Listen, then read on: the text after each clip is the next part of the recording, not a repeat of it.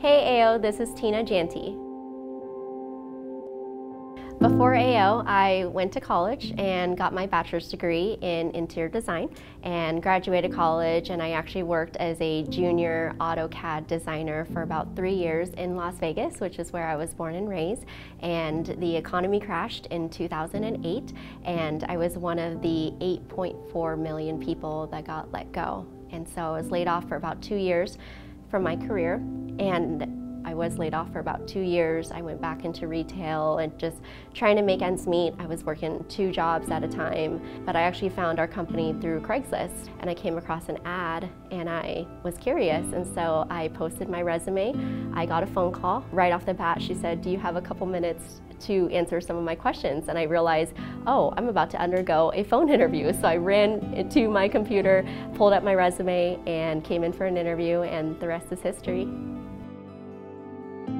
There were times, especially in the beginning of the career, where I felt like I wanted to give up or I felt that maybe this wasn't for me, but I was always very open about my feelings and I knew that I had so many mentors and so many people in my corner that I can open up to and express those feelings and every time I did they helped me through. It wasn't just my mentors but the people that I was able to make an impact on. When I looked at my team and I saw those faces and I saw how they really believed in me and I'm so excited to see their lives be completely changed, not just professionally, but personally. I'm most excited for them to pay that forward. I always say, you are given blessings so that you can be a blessing unto others, and that's what I'm the most excited for.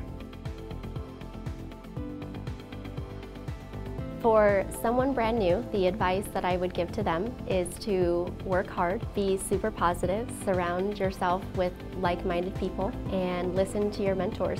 You're in business for yourself, but you're not by yourself, so lean on those that can help you and that have gone the way and have shown the way and truly love and care about you. And remember your why. And if you do all of those things, you will be very successful here.